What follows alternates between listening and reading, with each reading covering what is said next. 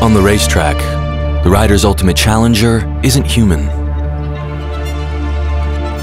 Airflow, that's its name. Always calling for extra efforts. No one has ever successfully found the answer against it, but that was until we tried a new approach. Imagine a helmet that would change its shape according to your Imagine feeling no pressure whatsoever, as if you're floating through the curve.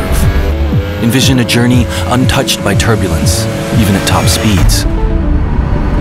That's what Aeron GP makes possible, with its new spoiler made of mobile flaps. We've made it. Air is no longer an obstacle.